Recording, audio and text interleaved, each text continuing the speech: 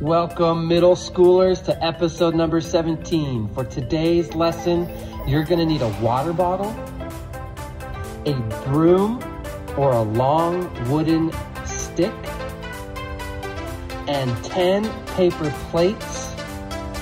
If you don't have 10 paper plates, you can make 10 small circles out of recycled paper. All right, let's get ready for the warm up. All right, middle schoolers.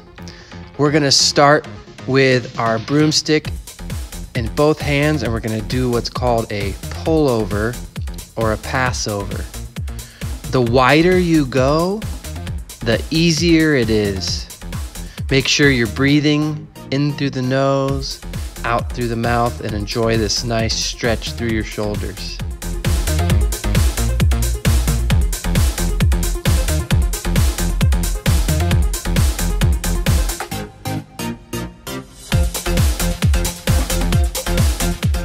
Next up, these are called around the world. We're just gonna go over the head. Taking some nice deep breaths.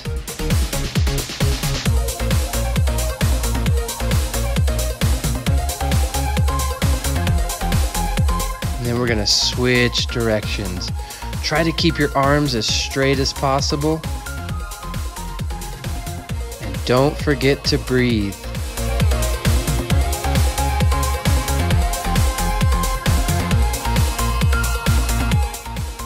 Right, we're gonna take our left palm and face it up, and our right palm is gonna be facing down. And we're just gonna do a nice stretch for the chest. So, what I'm doing here is I'm pushing with my right arm so that my left arm goes back, and I feel a nice stretch through my chest area. Really make sure you don't stretch too hard and push that shoulder out of joint.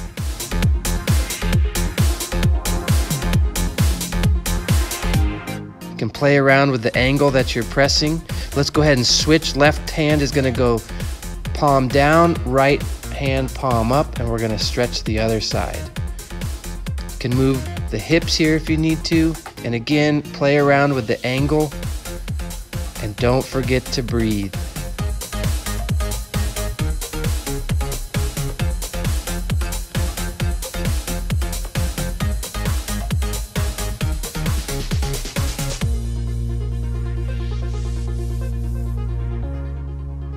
Right, now this one's a bit tricky. We're gonna go ahead and put the stick on our back and we're gonna make sure that the back of our head and that uh, the lower back, the hand that's on their lower back is always maintaining contact with the stick. And then we're gonna go into our inverted hamstring position. Always keeping the back of the head and the low back connected with the stick.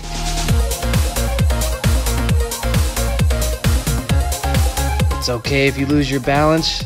Just explore this movement. Don't forget to have fun.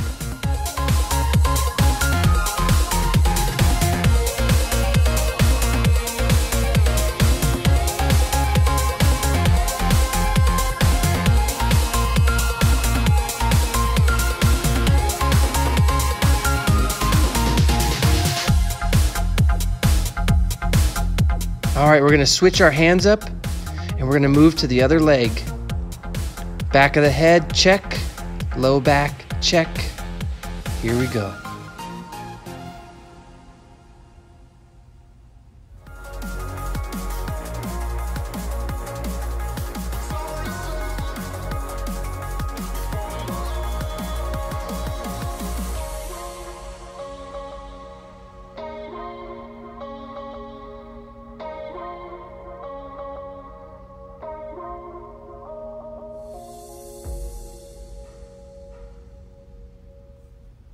All right, we're gonna end this stick warm up with something called the stick game. Now I'm gonna let the stick drop randomly, and the objective is to try to catch the stick before it hits the ground.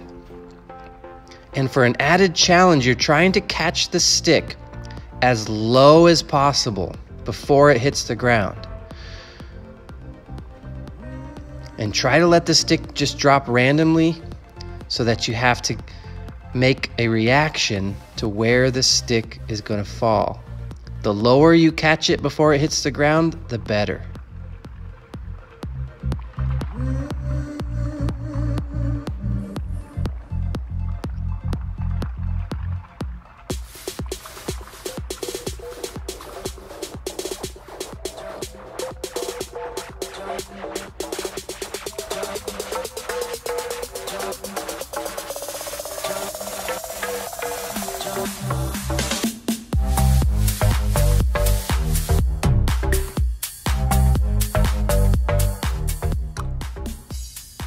Awesome. Let's get a quick drink of water and get ready for the daily dose.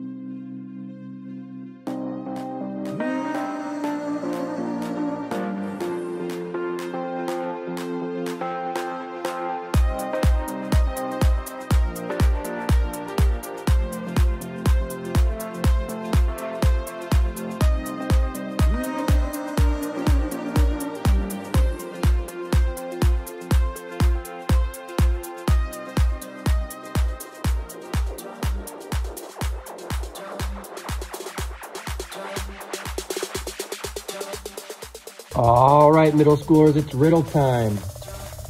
It's shorter than the rest. But when you are happy, you raise it up like it's the best. What is it? The answer is coming up at the end of class. All right, middle schoolers, it's time for the daily dose. For today's daily dose, we're gonna be doing 30 seconds of movement, followed by 30 seconds of active rest. Active rest is rest that involves more movement. Rather than just standing there waiting for the next exercise, we'll be doing some active rest in between the main exercises. Remember to move just like me, or if you want to add your own variations to the movements, go for it. Remember, if you're having fun, you are doing it right. Let's do this.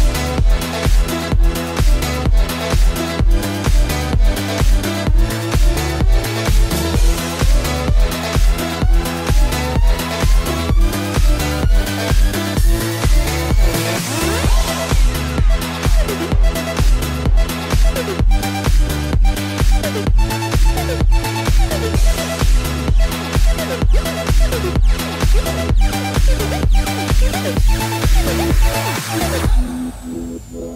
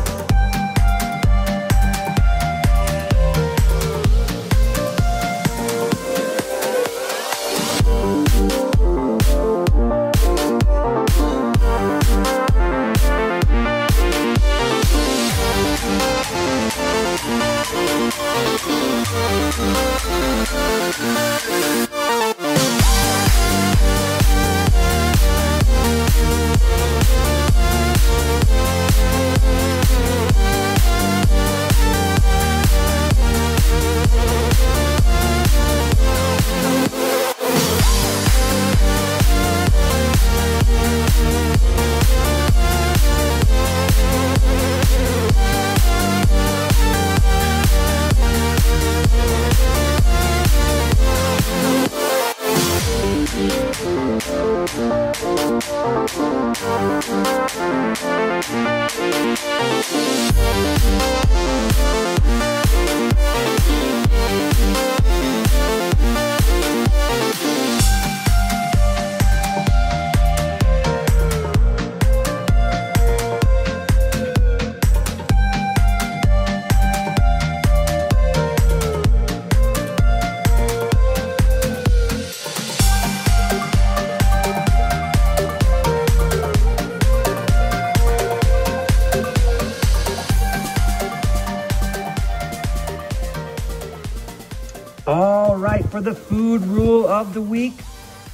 want to invite you to avoid foods that have some form of sugar or sweetener listed among the top three ingredients. Last week, we talked about reading the ingredient label and trying to avoid foods that have more than five ingredients. Well, this week, when you read your food labels, try to avoid foods that list sugar or sweetener as one of the top three ingredients. Good luck. All right, it's game time. In a moment here, you're gonna see one of my friends from BeWellPlayed.com and he will explain how to play the game. You'll watch the video and then you're gonna need probably some time to pause the video to get your game set up. One encouragement is to make sure your paper plates are not too close together or too far apart or it's going to be too easy or too hard. So you may need to practice a few rounds to get the hang of it. Have fun.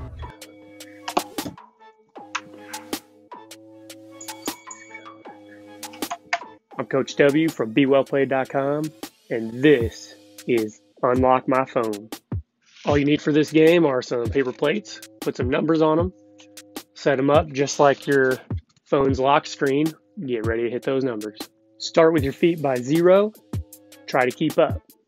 Touch all the numbers that you see, get back to the zero before it dings and goes to the next number.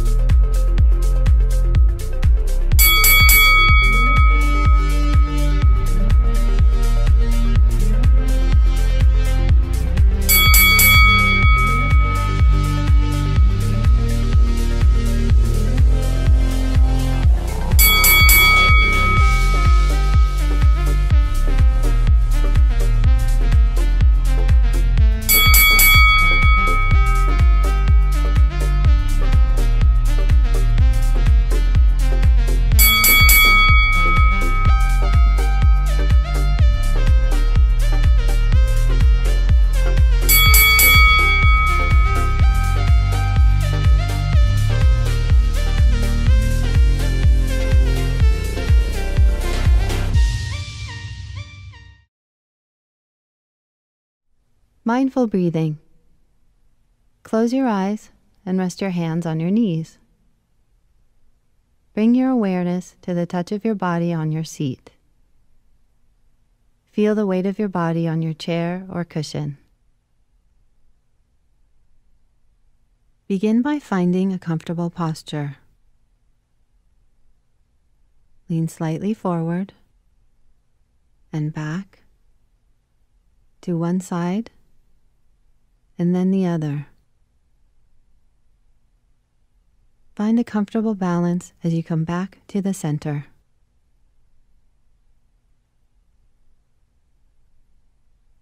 Now, sitting up straight, feel your head on the top of your neck.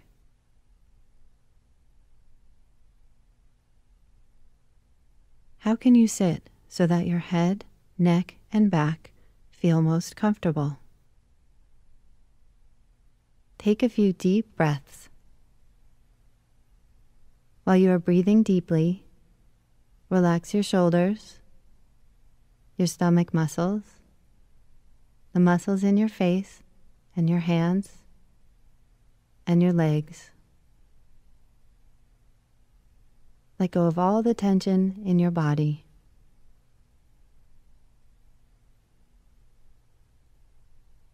Now bring your attention back to your breath. Where do you feel it most? In your nose or your stomach? In the rise and fall of your chest? Just notice where you feel it most and allow your breathing to be natural and relaxed.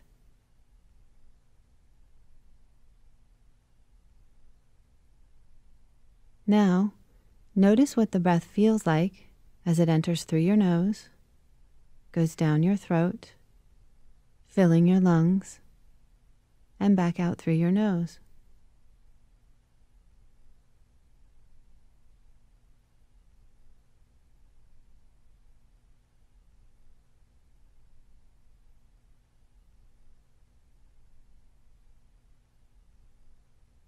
Notice your stomach and chest rise and fall with each inhale and exhale. And allow your breathing to be natural and relaxed.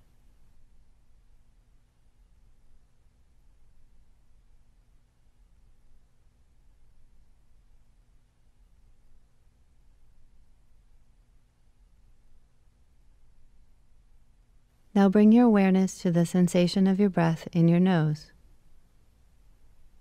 Feel your breath as it comes in and goes out. Just focus on this sensation, paying attention to each inhale and exhale.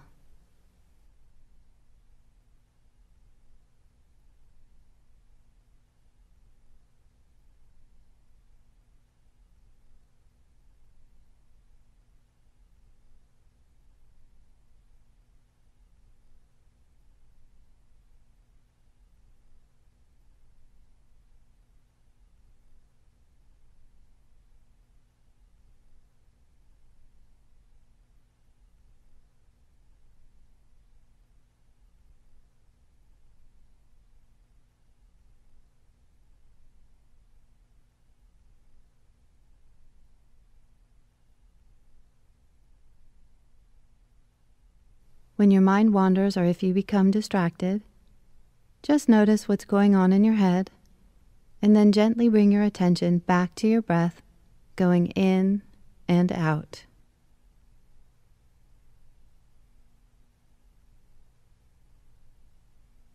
Focus on the sensation of your breath in the foreground, allowing thoughts and feelings to come and go in the background.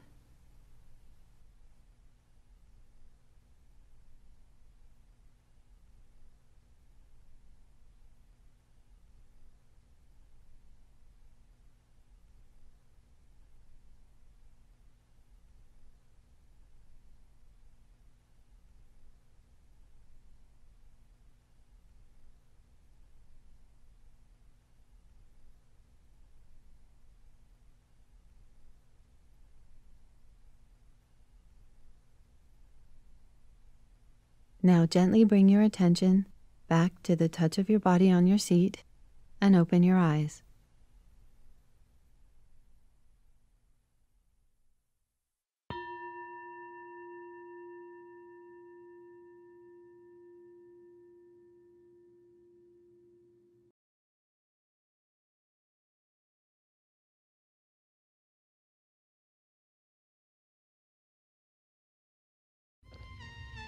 All right, it's time for the brain tattoo. This week's brain tattoo is E plus R equals O. That means that in your life, you're going to have lots of events. And how you respond to those events is going to equal your outcome. Now, if you are not currently happy with the outcome of your life, then all you have to do is change your responses because how you respond is up to you. So if you want to change your outcomes, change your response. All right, middle schoolers, what a fantastic workout. Great job today. Let's finish with the answer to the riddle. It's shorter than the rest, but when you're happy, you raise it up like it's the best. What is it? Your thumb. I'll see you next week for episode number 18.